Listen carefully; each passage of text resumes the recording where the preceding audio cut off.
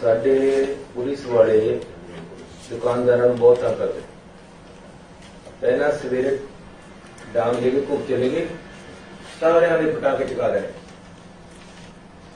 ਸਵੇਰ ਤੇ ਸ਼ਾਮ ਤੱਕ ਸਾਰੇ ਦੁਕਾਨਦਾਰ ਆ ਜਾਣਗੇ ਉਹਦੇ ਕੋਲ। ਉਸ ਤੋਂ ਬਾਅਦ ਸਭ ਦੇ ਪਟਾਕੇ ਲਵਾ ਦੇਣੇ ਇਹ ਸਿਸਟਮ ਬੰਦ ਕਰੋ। ਦੁਕਾਨਦਾਰ ਨੇ ਬਾਹਰ ਮੰਜਾ ਲਾ ਕੇ ਵੀ ਚਾਰ ਪੈਸੇ ਕਮਾਉਣੇ, ਆਹੀ ਦਿਵਾਲੀ ਦੇ ਦਿਨ ਅਗਲੇ ਨੂੰ ਕਮਾਉਣੇ ਦੁਕਾਨਦਾਰ ਨੂੰ ਫੈਸਿਲਿਟੇਟ ਕਰਨਾ ਹੈ। ਕਿਸੇ ਨੂੰ ਤੁਹਾਡਾ ਐਸਐਚਓ ਨਾ ਰੋਕੇ ਪਟਾਕੇ ਵੇਚਣ ਤੇ, ਕਿਸੇ ਨੂੰ ਨਾ ਰੋਕੇ ਖੇਲ ਖਿਲਾ ਵੇਚਣ ਤੇ ਔਰ ਸਰਕਾਰੀ ਕੋਈ ਫੀਸਾਂ ਨਾ ਲਓ ਇਹਦੀਆਂ। ਪਟਾਕੇ ਵੇਚਦੇ ਖੇਲ ਖਿਲਾ ਵੇਚਦੇ, ਵੇਚਣ ਲਓ।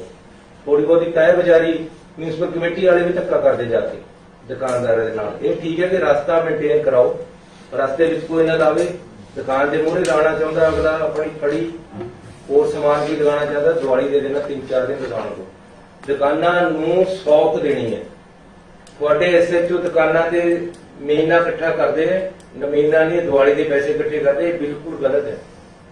ਇਹ ਚੀਜ਼ ਤੁਸੀਂ, ਇਹ ਤੁਹਾਡੇ ਤੱਕ ਨਾ, ਇਹ ਗਧਿਆਂ ਨੂੰ ਖੇਤ ਰਟਾਉਣੇ ਵਾਲੀ ਗੱਲ ਹੈ।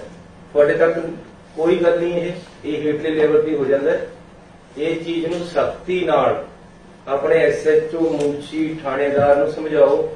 ਕਿ ਕਿਸੇ ਨੇ ਬਾਜ਼ਾਰ ਦੇ ਵਿੱਚ ਇਹ ਪੈਸੇ ਇਕੱਠੇ ਕਰਨੇ ਜਾਂ ਬਿਲਕੁਲ ਸੌਖੀ ਦੀਵਾਲੀ ਦੁਕਾਨਦਾਰ ਵਾਸਤੇ ਰਹਿਣੀ ਚਾਹੀਦੀ। ਦੁਕਾਨਦਾਰ ਨੂੰ ਲੱਗੇ ਕਿ ਮੇਰੀ ਦੀਵਾਲੀ ਆਈ ਹੈ।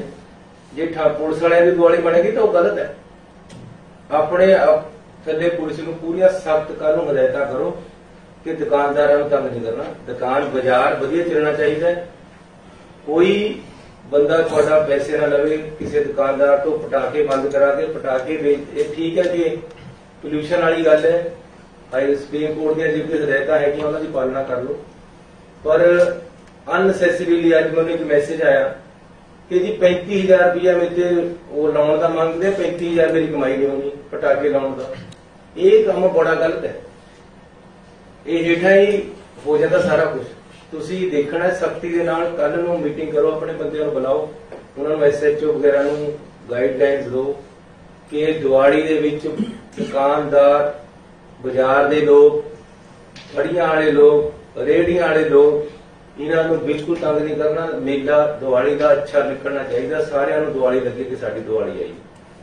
ਇੱਕ ਮੈਂ ਤੁਹਾਡੇ ਨਾਲ ਇਹ ਗੱਲ ਕਰਨੀ ਹੈ, ਦੂਸਰਾ, ਸ਼ਰਾਬ ਜਿਹੜੀ ਬਾਹਰੋਂ ਆ ਰਹੀ ਹੈ ਇਹ ਬਾਰਡਰ ਸੀਲ ਕਰੋ।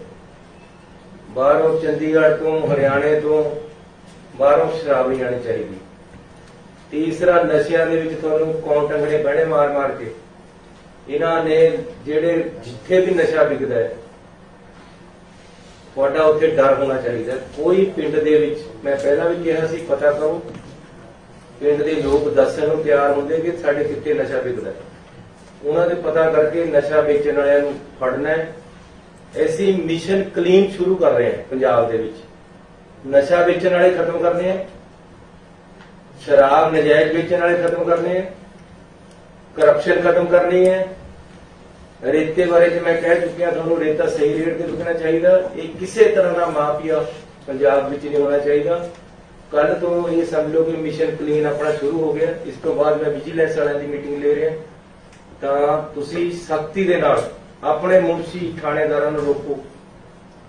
ਤਹਿਸੀਲ ਦੇ ਵਿੱਚ ਪੈਸੇ ਨਾ ਲੈਣ ਦਿਓ। ਇਹ ਤੁਹਾਡੀ ਜ਼ਿੰਮੇਵਾਰੀ ਹੈ।